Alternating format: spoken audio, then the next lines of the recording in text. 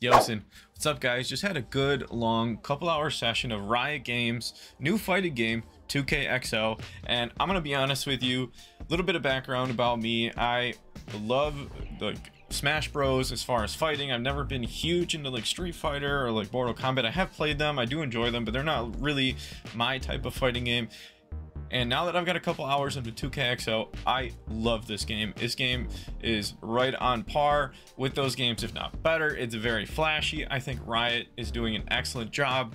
Thank you again for giving us access, Riot. I love League of Legends. I love you guys. Please make more games.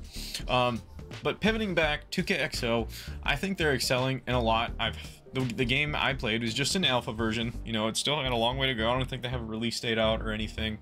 Um, I think they're doing excellent for what it is. So right now there's six characters out, Illaoi, Braum, Darius, Ekko, Yasuo, and Ahri. I do think Ahri's a little busted, and I don't fully understand her myself, but I feel like every character excels in their own way, and there's like, like at one point Ekko throws his time ball up, and you can use a different move to hit it, and just like the mechanic, mechanical stuff behind this game, I think they are excelling. I think this game's going to do excellent. I'm really hyped for you guys to check this game out. Um, it will be free on release from what I understand. I don't know when it is releasing, like I mentioned before. Um, but I think this game is going to be excellent. I really enjoyed my time with it. I can't wait for you guys to check it out. Make sure to like, subscribe, check out some of our other content here at Yooosin. We're always trying to create good content for you guys. Um, we, we enjoy doing this for you, you know?